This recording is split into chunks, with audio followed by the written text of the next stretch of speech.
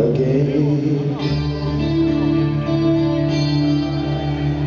As the captain calls us on the deck, I take my things and walk to the harbor side. I glance back one last time.